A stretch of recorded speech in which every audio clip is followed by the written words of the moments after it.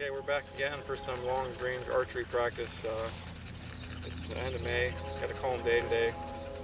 Uh, I'm to take my Rytera Alien X out for some more 100 yard practice. Uh, get a 3D Delta deer target down there 100 yards. We're going to see if we can get this uh, thing tightened up and hit where we want it for a possible kill shot later this summer.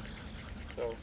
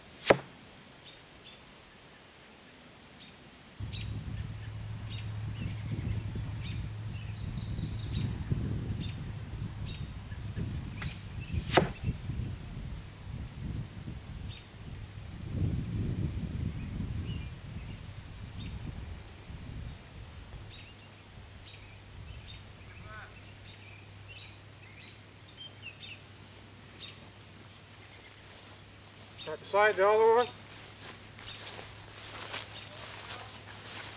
Yeah, a little bit low. Yeah.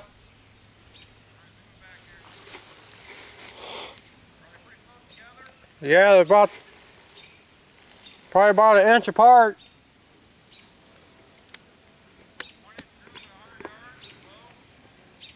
Maybe an inch and a half, maybe.